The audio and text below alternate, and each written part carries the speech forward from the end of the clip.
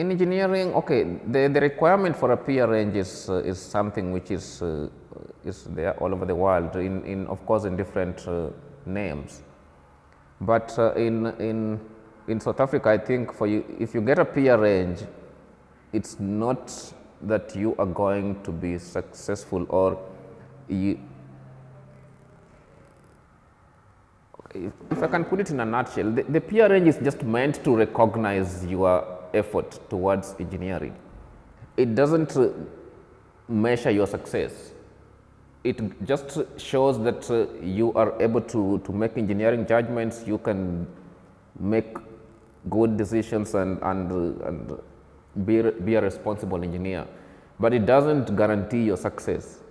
The, you, can be a, you can be a crook engineer even after you get your PR. So it's nothing to do with your success. I think it's, it's, it just open, uh, opens up avenues for you, you have connections and you are recognized. So it, it just makes your, your qualifications be, be, be recognized. So that's, that's the main important thing.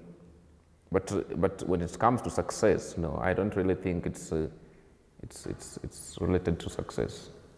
Ultimately, I think it's a title. It's not, you do have to go through a whole qualification process. So maybe it is a qualification.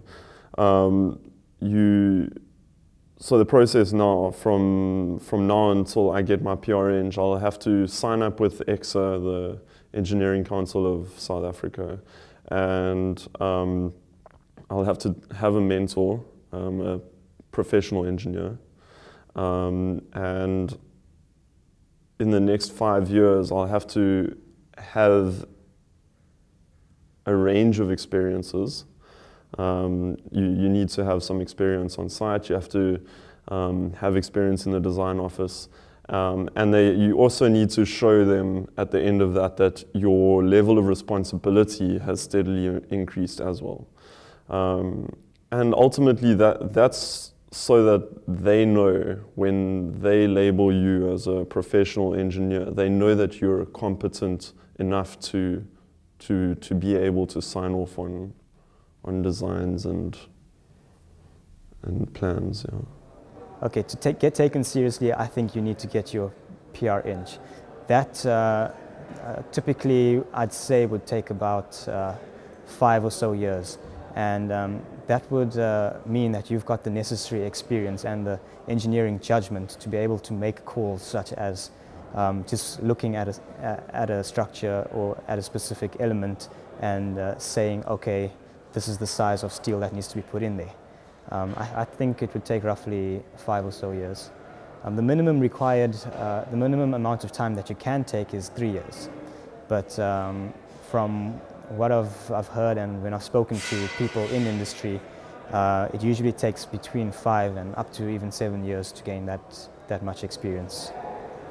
Oh, I think you can definitely be a successful um, engineer without your PR eng. I've met some very great engineers out there. I think it's also a matter of um, there's there's a lot of um, like steps that you follow to get your PR eng, and some people are, so, are really focused onto their work. You know, they I guess they don't find the time to go through all that stuff.